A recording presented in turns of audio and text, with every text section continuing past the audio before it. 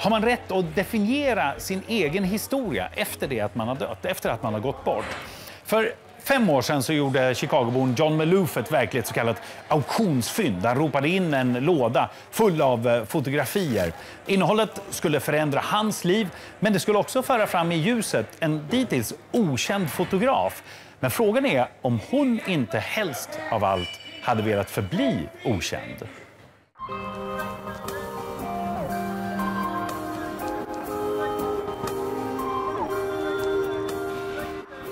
Many people describe street photography as being the theater of life, you know, so she would find interesting characters, you know, on the streets and she would make pictures of them. A lot of her photos, um, she seems to be invisible.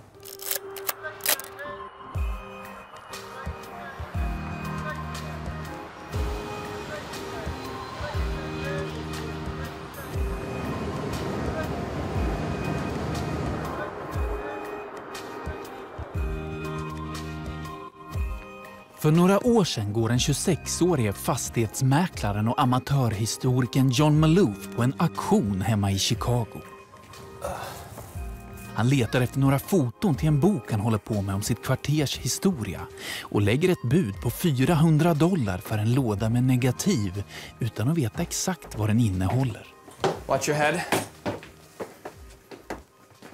This is one of the original chests I have, uh, and it's filled to the top with rolls of undeveloped film. So nobody has seen anything that is on any of these rolls. There's about 30,000 pictures in this box.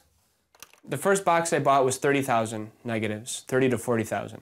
And then I bought some of the other people who bought work at that same auction. I bought almost all of the other work except for um, one other box. Um, I, was, I wasn't able to get that.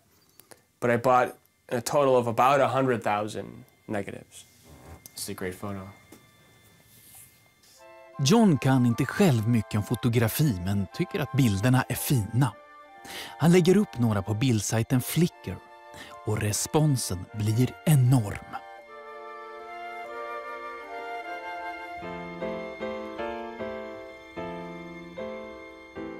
Everyone was completely blown away by it and the responses were overwhelming. Everyone was commenting about it and emailing me and stuff. And there's a lot of questions, of course, from them, you know, what, who was this person, how did you find it, where's she from? Det visar sig att han har snubblat över en möjlig mästares hela bortglömda bildskatt. Men vem är fotografen? I två år letar John efter information innan han hittar namnet Vivian Meyer på en av lådorna med negativ han under tiden lyckas köpa loss. När han googlar namnet får han bara upp en träff. En dödsruna från bara några dagar tidigare. I mean, she died literally you know, a week or a few days before I, I found her obituary on my Google search. And then, um, then I started to piece together her life through what I had, stuff that I had. And then I was able to acquire almost all of her other archive, and her possessions and stuff too. And so I started to work on a documentary, piecing together her life. So, um, you know, these are just some of her photos. I have a lot of color work in here. Here, this is a good one for you to do. This is, this is her with her Leica.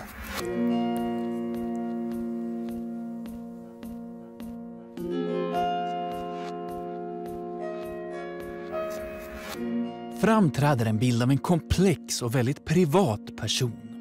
Vivian Meyer arbetade som barnskötare åt rika familjer i Chicagos mer burgna stadsdelar.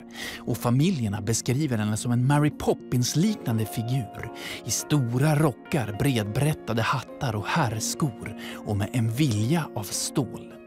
Ingen fick någonsin stiga in i hennes rum och få tycks ha vetat om att hon ens fotograferade.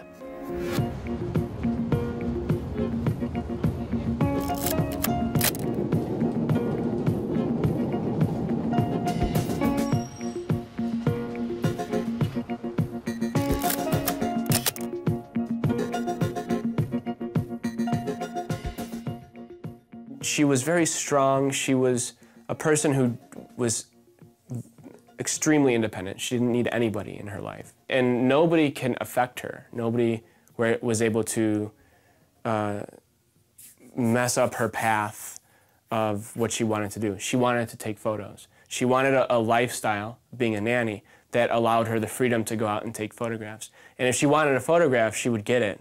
And if you didn't like her, she, you she would, she'd rather get you screaming at her and she'd take your photo than her to back down. This one is hers. This is her. Um, So this is the one that she took a lot of the photos with. this is the one that she would have shot a lot of photos with. Um, not all of them. She had a bunch of Rolleiflexes, but this is just one of them. Vivian Maier tycks ha fotat minst en rulle om dagen i hela sitt vuxna liv. Men hon sopade bort spåren efter sig själv och sin bakgrund och uppträdde ofta under falska identiteter. Men varför ville hon hålla sitt fotograferande hemligt? I think she kept them secret because she just didn't have anybody. I mean, she didn't have anybody to confide in. Uh, she had no family, no close friends.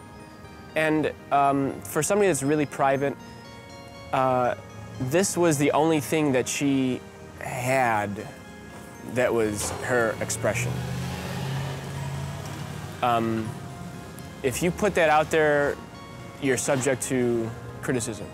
And that could have damaged her will to continue, perhaps. Nu håller John Maloof på med en dokumentär om Vivian Maier. Förutom att han köpt upp och lanserar hela det livsverk hon till synes gjort allt för att hålla hemligt har Maloof åkt runt i världen och lagt ett pussel för att kartlägga hennes liv. These are her uh, steamer trunks from her travels. She kept, I told you earlier about newspapers, and she would have binders full of newspapers. Han har intervjuat nära hundra personer som på olika sätt stött på henne eller känt henne. Han har köpt upp kläder, smycken, kameror och tidningsarkiv. And this is some of her stuff. I mean, this is just stuff, you know, just odds and ends. Like, you know, she had buttons and Frågan är vad den extremt hemlighetsfulla fotografen hade tyckt om att han blottlägger hela hennes liv.